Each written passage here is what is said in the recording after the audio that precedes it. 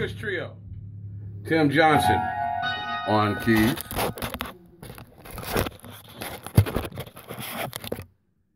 All right, right behind me. Oh, Jesus. Oh, come on. Serious.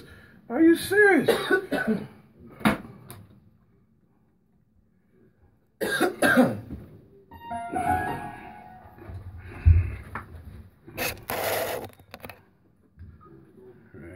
Take two on this motherfucker. Take two.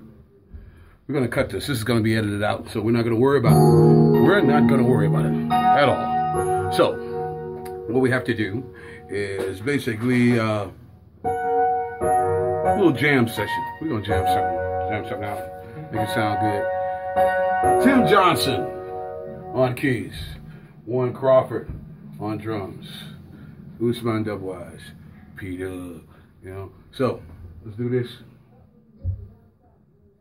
after the smoking break. Mm-hmm.